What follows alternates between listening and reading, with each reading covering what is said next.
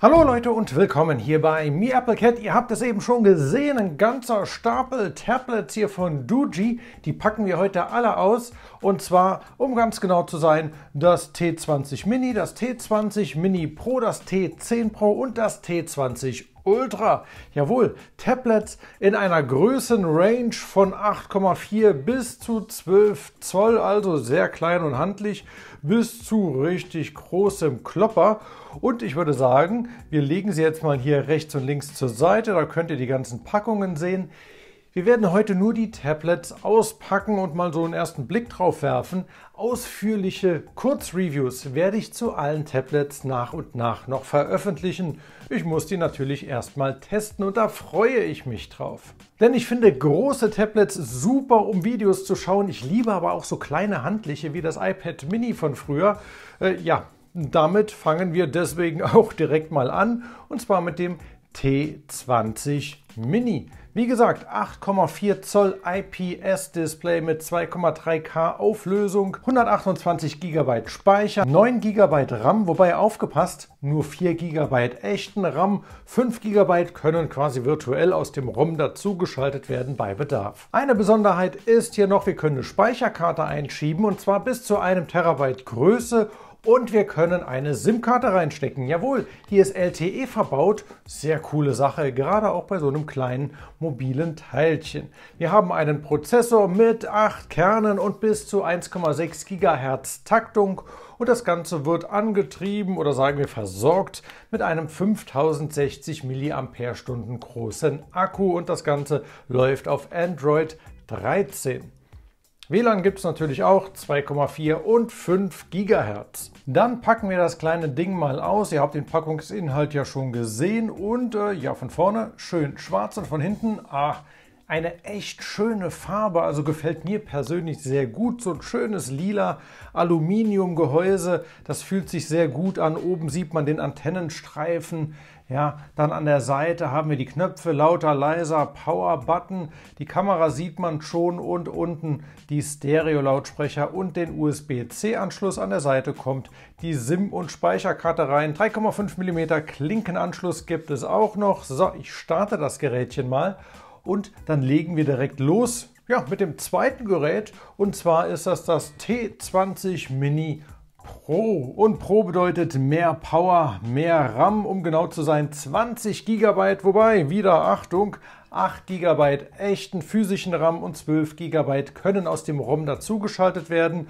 Äh, die Speichergröße liegt jetzt hier bei dem Gerät bei 256 GB und jo, es ist schwarz. Da seht ihr mal den Unterschied. Na, ansonsten sehen die identisch aus. Beide haben hinten eine 13 Megapixel Kamera und vorne eine 5 Megapixel Frontkamera. Das Ganze noch mit einem Blitzlicht. Auch hier natürlich LTE-Funktion, Klinkenanschluss und äh, WLAN, Speicherkartenerweiterung, Stereo-Lautsprecher, USB-C, Android 13, more of the same, aber alles halt ein bisschen besser und schneller. So, während ich die Kleinen hier mal starte und äh, kurz hochfahren lasse, Gehen wir direkt zum nächsten Modell über und das ist dann unser mittleres Modell, das T10 Pro. Das kommt in dem Fall hier mit 256 GB Speicher, 15 GB RAM, ihr kennt das schon, 8 GB echten RAM, 7 GB können bei Bedarf dazu geschaltet werden aus dem ROM. Die Displaygröße beträgt 10,1 Zoll, eine Speicherkarte bis zu einem Terabyte kann wieder eingeschoben werden, der Akku ist 8580 mAh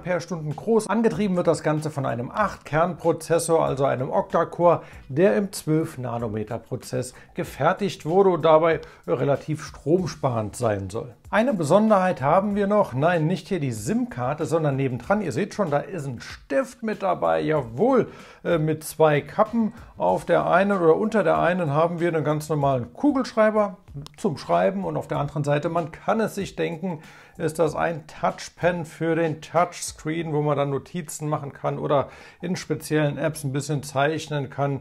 Alles ohne Akku, ganz rudimentär, aber nett, dass sowas hier dabei ist. Auch hier das Ladegerätchen ist natürlich wieder mit dabei, wie bei den anderen auch mit USB-A-Anschluss, aber man darf sich an dem Kopf kratzen. Wir haben ein Kabel USB-C auf USB-C und ein Netzteil mit USB-A-Anschluss. Hm, na du G, was ist denn da passiert?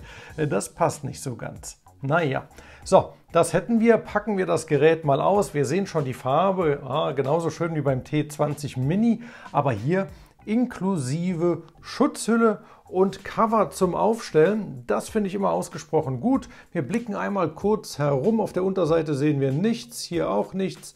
Dort haben wir den USB-C-Anschluss einmal, dann hier lauter leiser Power-Button, Klinkenanschluss und ich klappe es mal auf, dann seht ihr das 10,1 Zoll große IPS-Display. Und äh, ja, ich nehme es mal runter, also hier das Cover. Und dann seht ihr, jo, ist so ein Standard-Cover, ne? Also ganz schön zum Aufstellen, so flimsy, ein bisschen silikonartig aber immer nice to have, wenn sowas mitgeliefert wird. Da will ich gar nicht meckern, genau wie bei der Farbe, habe ich eben schon erwähnt. Sieht super aus, gefällt mir richtig, richtig gut. Die beiden hinteren Kameras mit 8 und 13 Megapixel hat man auch schon gesehen. Hier unten haben wir Stereo-Lautsprecher und äh, ja, so sieht es aus. Ein bisschen abgerundeter ist das Ganze und nur 8,3 mm dünn. Natürlich auch mit LTE-Funktion und allem Schnipp und Schnapp, was die anderen Geräte vorher auch schon hatten.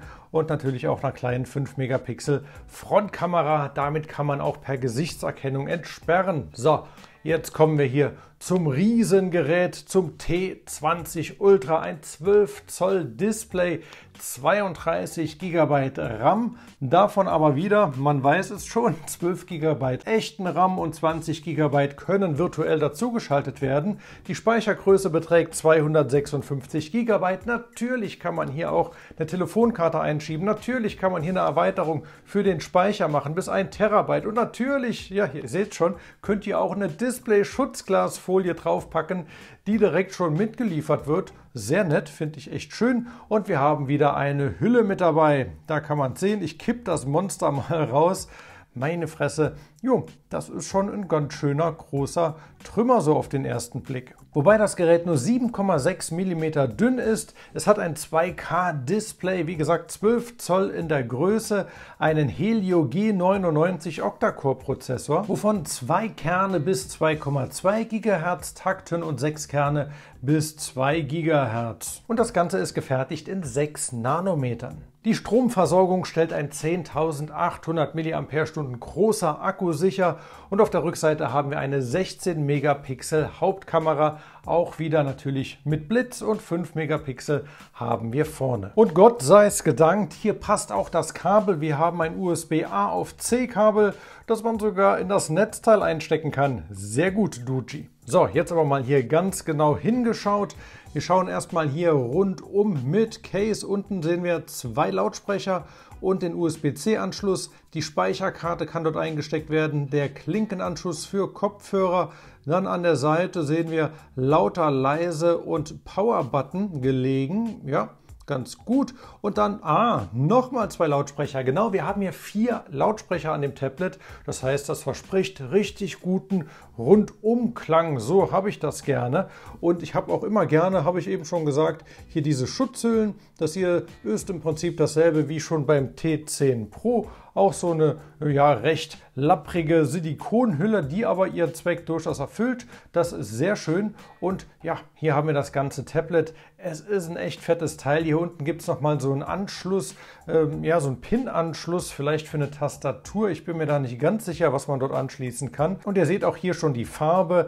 Das Ganze ist wieder in schwarz und natürlich mit einem Aluminium-Unibody-Gehäuse, wie übrigens alle Tablets, die ich euch hier eben schon gezeigt habe. Alles in Aluminium, alles fühlt sich auch echt gut und hochwertig an. Die Kamera, die ist diesmal rund und hier sehen wir einen echt langen Antennenstreifen für LTE und für das WLAN und Bluetooth und hier unten steht es nochmal High-Res Audio. Dank vier Lautsprechern wird hier versprochen. So, ich schalte das Ding mal ein. Wo ist es? Hier oben. Ja, man muss immer suchen. Die Knöpfe sind durchaus unterschiedlich. So, da seht ihr nochmal die Frontkamera. Auch die dient zur Gesichtsentsperrung, wie bei allen Geräten. Und wir machen mal ein kurzes Bootrennen in Anführungszeichen. Ich kann die nicht alle gleichzeitig einschalten, aber dann seht ihr hier auch mal, dass wir durchaus unterschiedliche Boot-Animationen haben. Bei den großen ist das Ganze etwas, ich sag mal, prächtiger und spektakulärer gestaltet als bei den kleinen Geräten.